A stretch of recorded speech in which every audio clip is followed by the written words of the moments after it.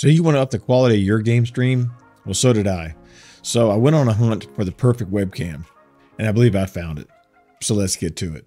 So when I first started streaming, I didn't have a face cam, and uh, I wanted to add that dimension to it because I feel like it adds something to the stream.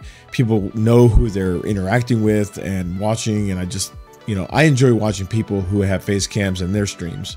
So I wanted to add that. Well, the PlayStation camera was a complete fail. That HD webcam they have, it's garbage. So I transitioned from the PlayStation to using Streamlabs on a computer, which I'm going to go over Streamlabs on another episode. So you'll definitely want to hit that like and subscribe button because it's awesome software and you don't want to miss that episode. Make sure you hit that bell icon. And I believe that perfect camera is the Anker PowerConf C200. This camera has been amazing. As you'll see in a minute, the size of the camera is perfect. It's small, compact, but it has a lot of features.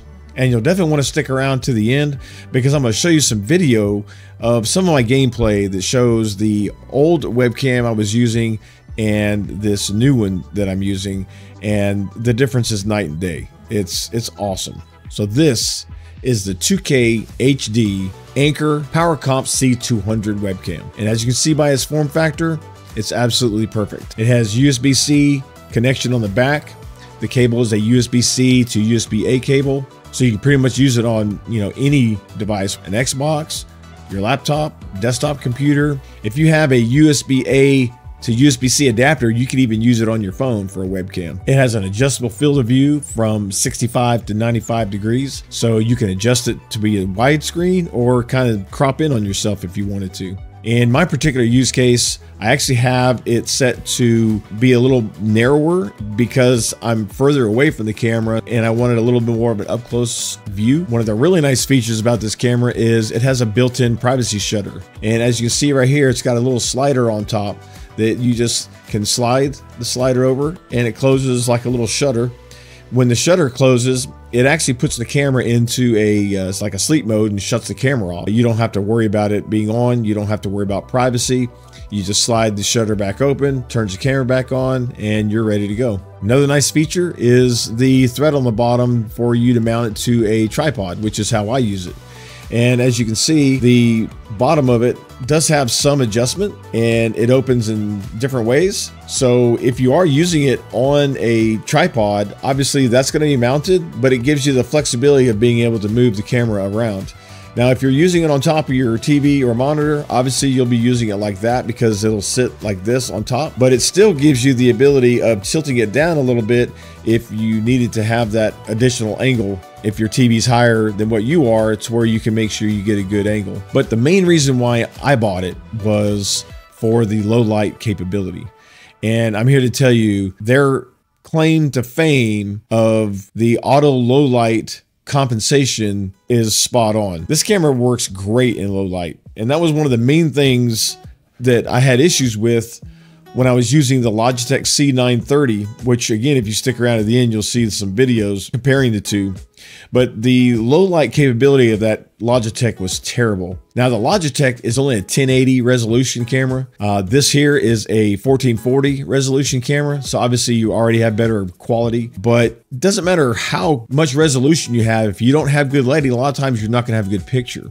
And that was definitely it with the Logitech. My whole purpose of buying this camera was to use it as a face cam for my game streaming. Since I moved away from the PlayStation and I'm on the computer now, I wanted to have a quality camera. And this has exceeded my expectations, to be honest with you. This has been a great great buy. And it's under 100 bucks. You can get it on Amazon, I think, for like $60, which I'll leave a link in the description for you to go check it out. Because I game from my big cushy armchair in the middle of my room, uh, I don't have a, you know, a fancy desk setup and, you know, nice you know widescreen monitors. I use a phenomenal you know 4k oled samsung television. So i needed to have the ability of moving the camera around to get it closer to me because obviously i sit a little further away from the tv screen than i would a monitor screen. So the fact that it has the built-in thread for the uh, tripod mount is fantastic. It's been you know easy to position the camera where i want it to get the angle i want and get the picture i want. I've been using this camera now for about a week And I'll have to tell you, the low light capability of this camera is truly awesome. I don't use any key lights or overhead lights because I want the room dark. I really like the colors and the brightness of the OLED.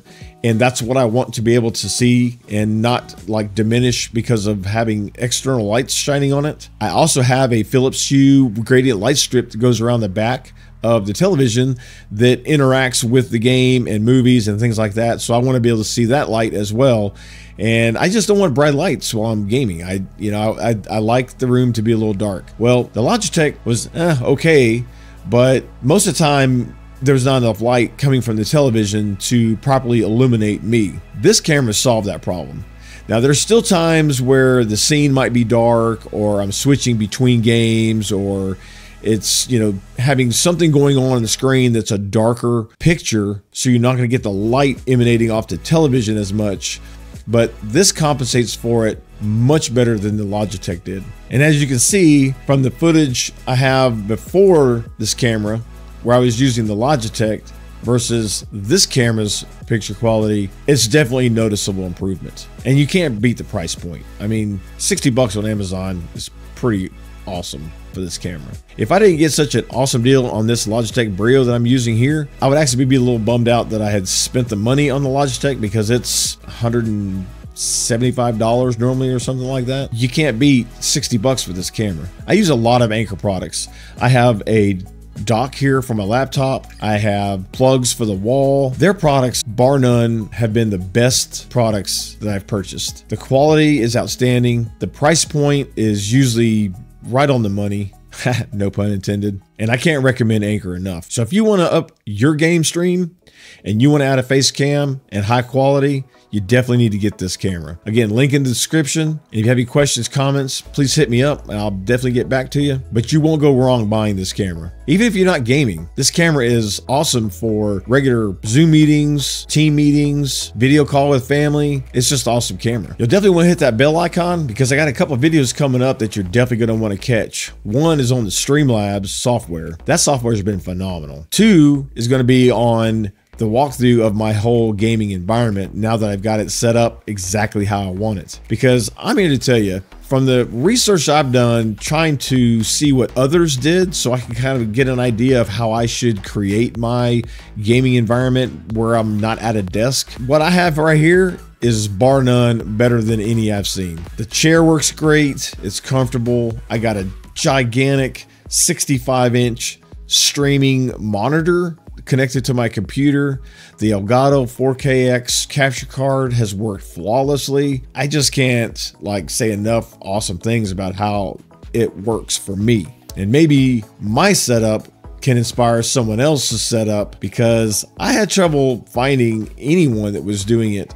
Most everybody has their desks and things like that. I don't want a desk. I'm a casual gamer, not a professional gamer. I want a comfortable environment. And I can honestly say that when I come up here to do my gaming, it's like a whole nother experience. Just the ambiance and the things I have it set in place elevate my gaming to a whole new level. And it's been awesome. So come back and check those videos out. But in the meantime, you're going to go want to go check this video out on the review of that Elgato 4K X capture card because it's been awesome too. And we'll see you in the next video.